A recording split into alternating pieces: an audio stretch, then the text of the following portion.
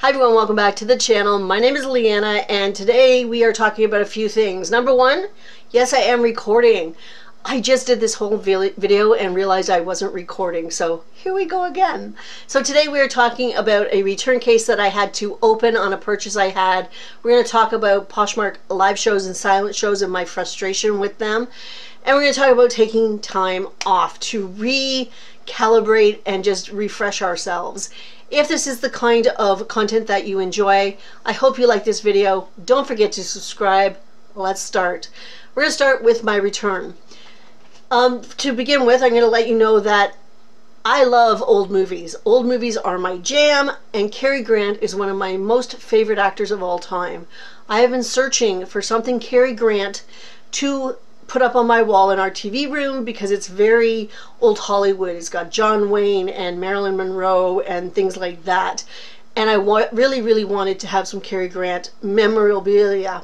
That's a good word to put up on the wall. I did find something on Poshmark Canada. It was an ad for a poster.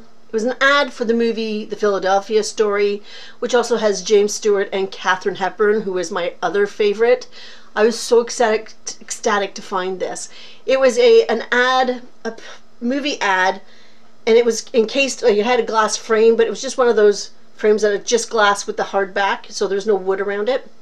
I don't know what this is, but anyway, that's all it was. But I was so excited. I sent an offer to the seller. She accepted it fairly fast, and she shipped the item really, really quickly. I was so happy. This all happened on the 11th. It was supposed to get to me by the 15th it showed up a day early. So Valentine's Day, I'm like, oh, my heart's going, ah, I'm to put this on my wall. I was so excited until I opened my front door and saw how it was packaged. And I was like, oh no, please let it be okay because this is a glass frame. Please let it be okay. I opened it up and the glass was smashed. And you know what? I think the seller did try to make sure it was protected, but it just wasn't enough. Um, they had masking tape across the front of the glass to help. They had put the frame itself between two pieces of bubble mailer, and then they had put that between, um, like in a cereal box type cardboard. I think it was hamburgers or something. And you know what? I'm all for recycling that stuff. I have no problems with that. But they had put them like that and then just wrapped it in brown paper and wrote fragile on it. And as soon as I saw it, I knew it was like, oh, this is not going to be enough. I think it's just not not quite there. And yeah, the glass was smashed. So I was I was upset. I wasn't oh, I wasn't going or anything like that, but I was upset because I was really looking forward to this. I had to open a case. And you know what? There's been a little bit of talk. Somebody somewhere else said, "Oh, I didn't want to open a case because I used Posh Credit," and I'm like, "I use Posh Credit to buy this, and I don't care." I still wanted to open a case because the seller didn't deserve the money for it. You know, and it's unfortunate. It's just the way it is. I opened the case, I provided photos. I was not rude because I am not a rude person. I understand that, you know what, poop happens and whatever. But I was unhappy. That's how I left it. I will give Poshmark kudos. They did um, deal with all of this within 24 hours, which I was very, very pleased with. Um, it came to the point where I got all my credit back and whatever money I did spend. Plus, I could do whatever I wanted with the item, which is good because that means I can keep the poster. I'm just going to go out and buy a new frame for it. Perfect. Fine. Why I'm bringing it up is because the seller did not respond whatsoever to the case at all. And I have a couple of small issues with that. Well, not small. Um, number one, on Poshmark, yeah, you can get away with doing that because Poshmark doesn't have a lot of repercussions. But if you want to build your business and you want to go to other platforms like eBay, you cannot ignore return requests, period. eBay wants you to deal with it. And if you have this attitude where they're like, well, I'm not going to bother, you will get into trouble on eBay. 100% you will get into trouble. And if it continues to happen, you won't have an eBay account. So keep that in mind. Second part is that it's just not really good customer service. Ignoring your buyers is not good customer service at all. We have talked about, you know, I answer all questions. When I have had a case, I have always answered the case. I've said something. Whether I've directed it right to Poshmark if the buyer was a little rude, or I've actually said something to the buyer, you know, to say I'm sorry. Always, always, always respond. I don't like the attitude that some people have where they like, ah, I don't care, I'm not going to respond, Poshmark will take care of it. I think you lose buyers that way. Now, at the beginning of this case, I thought, okay, you know what? They tried, they're a newer seller, that's okay. It didn't put me off buying from them. But because they didn't respond at all, it kind of put me off buying from them. And it got me thinking. I always respond to cases, I always answer questions, and I, I'm very firm about doing that and I talk about it. But I realized that it always all goes with the positive. So if somebody's taken the time to give me a five star review and actually made a really nice comment, I should be acknowledging that. I should not be ignoring that. I should be sending them a message saying, hey, thank you very much. I'm really glad you're happy. Right? It made me think, oh, I got to start doing that. I think that would be a really good thing to do for my customer service level. Um, with reviews and that on Poshmark, I mean, yeah, they're not all that important in some ways, but I think you, I think I should be acknowledging buyers that take the time to respond to me. That I should make the time for them. If it's a less than five star review and they leave feedback that's actually good feedback or learning feedback, I believe I should be responding to that as well. I'm sorry you're not 100% happy, but thank you very much for the feedback in the future or going forward, I'm going to take that into consideration. Those, I think I will absolutely start to incorporate that in my business, and I think that might help. I will never go chasing a bad review though. Like if someone gives me a three star and puts other, I can't help you. And you know, and that's okay. I most of the time let them roll off my back.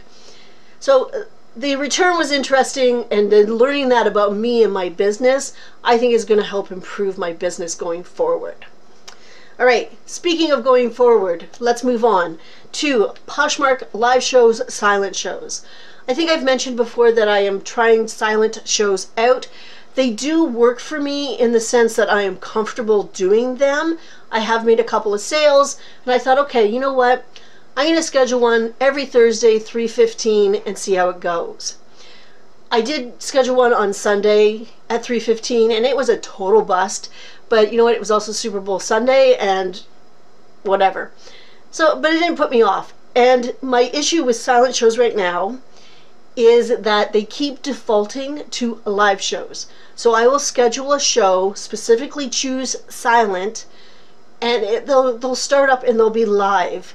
And that's very frustrating for me because I'm ready to go silent, so all my listings are there. I have no listings in front of me, and I start my show, and all of a sudden I'm on camera. Oops. and it's it's annoying. It's frustrating because then I've tried to exit out and go back in, and it's not working for me. And I have to reschedule the show really quickly and reload up everything that was in there. So it's like it's frustrating to me. I, that's happened, I think, three or four times now. And on Thursday, what happened was I had to change the time of my show because something happened and Thursday at 3.15 wasn't going to work. So I thought, you know what, heck, I'll just do it in the morning. I have time in the morning. So I just changed the time. Double checked that it still said silent. It did. Fine. I go to start the show. I'm, I'm a minute in. I go and double check that it's still on silent. And it is. I'm like, great, we're going to go start my show and it's live. I'm like, there was a few choice words that came out of my mouth. I was not happy. I was like, mm, this, I'm done, I'm done, I'm done. And I emailed Posh Support, said, why does this keep happening? When will this glitch be fixed? Because I really want to take advantage of this feature. And they did finally get back to me yesterday, which good timing, but again they didn't really answer my question. I don't think they i don't know. I there's some sort of miscommunication with posh support and my emails but they suggested i clear my cache and maybe that'll help. So i did that and i've rescheduled the show for today at 3.15 um, it is only just after 12 here right now. I will leave a pinned comment down below and let you know how it went if i still had issues or if it went off all right because I still want to try it. Um, we'll see what happens. I did clear my cache. You have to start them on Chrome. It doesn't work in Firefox. So I know that. Part of me is thinking maybe I'll just do it on my phone. Maybe it's the computer that's having the issue and not the actual app. So I'm going to make that decision in a couple of, well, in a couple hours when I actually have to sit down and do it.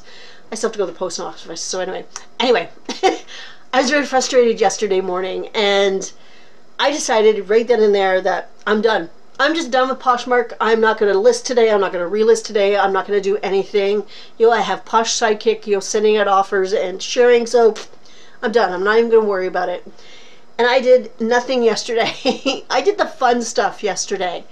We went to the cross border shipper. We went to the bins for like 10 minutes. I got some great stuff we picked up a few things at auctions that were that ended over the week so we did pick up a few more things. So we went sourcing.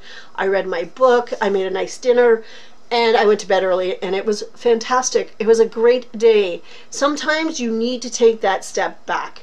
Like i understand that you want to work hard and you got to get this done and get this done and get this done because it you know that will breed success. But once in a while you got to take that step back and go oh you know? For me it really helped because today I feel much more motivated to do the things I want to do. So I have relisted.